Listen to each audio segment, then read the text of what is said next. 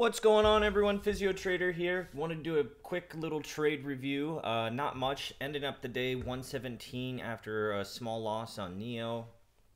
Um, so markets are really slowing down lately. The volume has just seemed low the last couple days, and you know we may just be in for a turning point, which that's okay.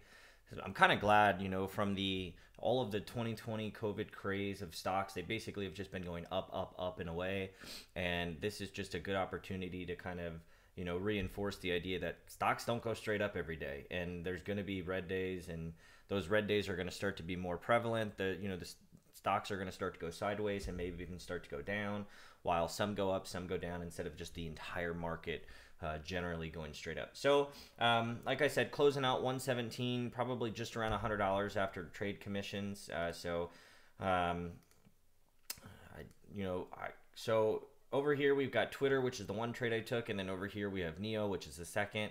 Again, still rocking this double screen.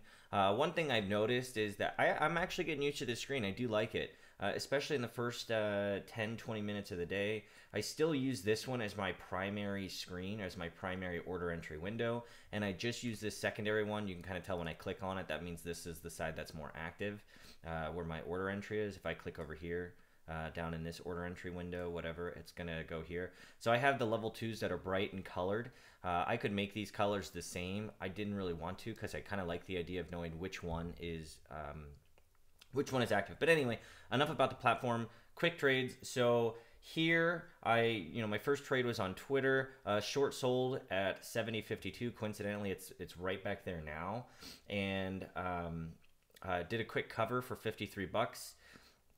Just going in 400 share lots, nothing big here. Uh, followed it up a couple more times and ended up getting out for just $20 for the second round, which was just 20 shares. This thing did end up going up a little bit more. And then coincidentally, right here, the high was 70.92. I actually had an order for 400 shares at 70.94. Obviously, we never went that high, never got filled. The high of the day you can see here was 70.92.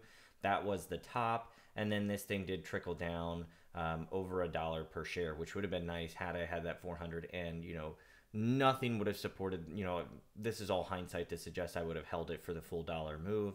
But either way, that would have been a nice candle to get in on. Um, I was shorting here, trying to you know look for this break. It went up, and I figured at this point, this stock has just been a gap up and going up, and then it started to reverse around. Um, and then flash forward, I took that one losing trade on NIO. You can see over here. Um, NIO, same thing. It was going up. We started putting these lower highs in. Uh, started to slightly get some lower lows. Uh, took a short. Uh, did not want to cover with just a couple cents, so I got in at 65. I didn't want to cover um, at 56, which was the low, and at that point, it would have, um, you know, just been a, I think it was 400 share, no, 200 shares. So I, I lowered my position size. I wasn't that confident in it because these EVs have a way of hurting me, and you know, just to go to show, um, I, I covered pretty close to the top again this thing finally did roll over the, the move I wanted, and then I have absolutely no idea what NIO's done since. So, okay, so that trade was there. So this thing has continued to go up, which, you know, further justifies I did get out. It would have worked had I held and hoped, but had I held throughout this whole thing, I would have been down even worse. And then to flash forward here on uh, Twitter, this thing, I saw it um, have a resistance. This is on the two minute candles I saw some resistance at this 50 moving average. Took a short, gave a very quick uh, $48 bounce or, or $48 move. And then a couple other times I did end up over trading it here. And let me see, we can pull this in.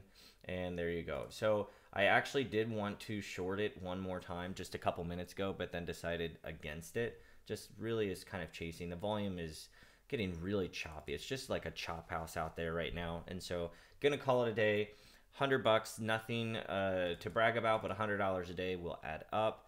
Um, gonna try something where um, you know if I make a hundred bucks, two hundred bucks, I'm just gonna like walk away for the day. Uh, stop looking for four, five, six, eight hundred dollars a day. And not that I am. I normally don't have a monetary goal. I find that when there is a monetary goal, then you tend to you know trade until you hit that goal and many times you end up finding trades that don't actually exist so uh, with that being said, uh, gonna call it a day. Not a big, uh, not a big day. Very happy about the day. Um, played it the way I wanted it to. So uh, if you have any questions, comments, suggestions, please let me know down in the comment section. Uh, like this video, share it with anybody who could benefit from this information, as well as please subscribe. Thank you so much for watching.